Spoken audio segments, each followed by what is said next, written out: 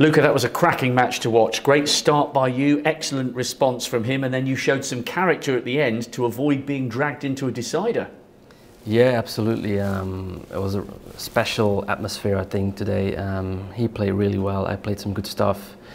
And in the end, I was faced with a very tough yellow. Uh, that was a terrible shot, but it went in. And yeah, that was a relief to see it go in and clear up. You are a proven big stage performer, and I'm imagining that you're loving the revamped UK Championship. There's, there's a bit of a stardust this year. It feels different, doesn't it?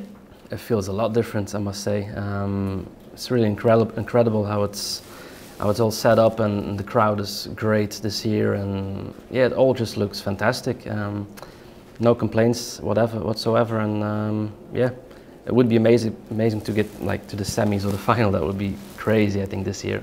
Well, that's still a long way to go. Yeah, but great memories of, of doing just that 12 months ago. A wonderful run to the final, and then it teed you up perfectly for the following weekend when you won your second ranking title against John for the Scottish.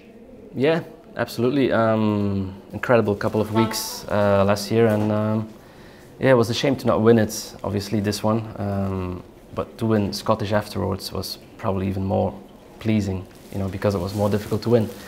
Um, but yeah, great memories and uh, playing well, confident. So we'll see what happens.